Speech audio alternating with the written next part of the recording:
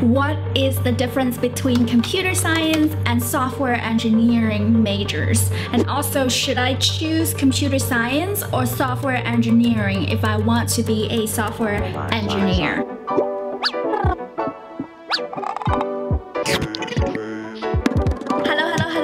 Everybody, welcome back to my channel. My name is Vicky Mei and I am a software engineer living in New York City. So in my video, you will probably hear a lot of things about how do you learn to code or things about web development and also all things about tech. So in today's video, we are going to comparing these two majors, computer science as well as software engineering and which one is the best one for you. Okay, so like the first thing that I would like to do is actually talking about the overviews of these two majors. So computer science is the study of computers work, mostly from the theories and mathematical perspective. So you should choose computer science if you like math, logic, and if you want to get into more specialized field in computer science such as artificial intelligence, machine learning, and all that good stuff. Software engineering is the study of how software systems are built, including topics like project management, quality assurance, and also software testing. And you should choose software engineering if you are more interested in overall life cycle of how software is built and maintained. Okay, one thing that I wanted to really kind of emphasize is that both computer science and software engineering teaches the fundamentals of programming and computer science. So you can choose either one to become a software developer, but there's more of a concentration in regard to these two majors. So now you might wonder, right? What about job opportunities? So the most common jobs that as soon as you graduated from these two majors are probably going to be software developers or software engineers. You might also get hired or see titles as web developers, front-end engineers, back-end engineers. So this might be just like the tiny little bit of what you can do after you graduated. But there's other options that you can explore, such as product manager, um, QA analyst or QA engineers, and also technical consultant Your options will depending on the specific skills that you built when you were in school or as well as your internship opportunities.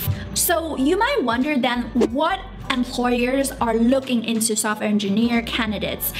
Well, they're looking for people or candidates that has the ability to write solid code and also build interesting projects. On top of that, they want someone who has a really good fundamentals in computer science, including data structures and algorithms. In my opinion, the best way to develop and demonstrate these skill sets that you have is by spending time to learn computer science fundamentals. And this is probably important. And if you're already in school and you're learning, you know, either computer science or you are in software engineering, you're already learning the computer science fundamentals. I would recommend to actually spend your own time to build a ton of projects, especially contributing to open source or also going on to different events such as hackathons or other opportunities for you to build more passionate